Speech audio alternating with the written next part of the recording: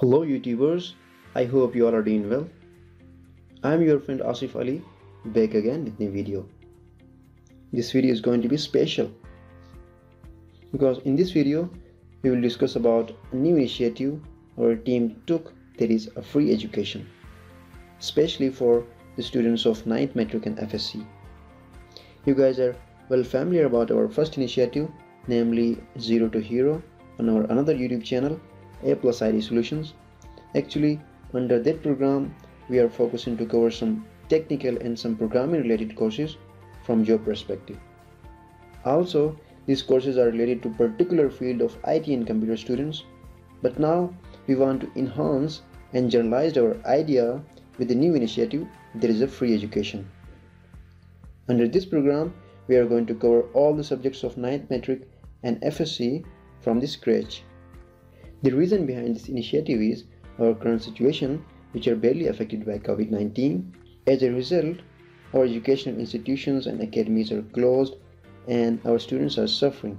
So, by considering all these issues, our team took an initiative so that we can solve the issues and cover all the subjects of 9th matric and FSC level students. As you can see in this slide, that we categorize the subjects into two different categories that are science and arts. But for now, our major focus is science subjects.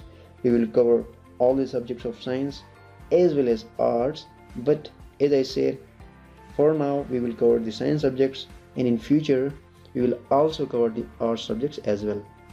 This is the learning path we are going to follow throughout this course. As you can see in the first step, there is a theory of complete chapter.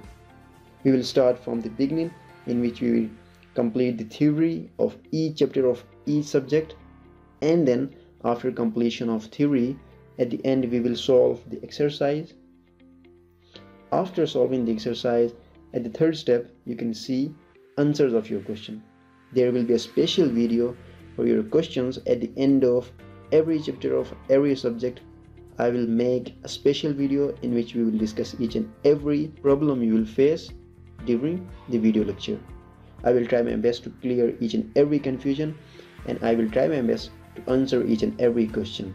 After that, at the last step, we will going to conduct a MCQs type test. This will be open book test so that we will check our progress and we will check the quality content we provided for you.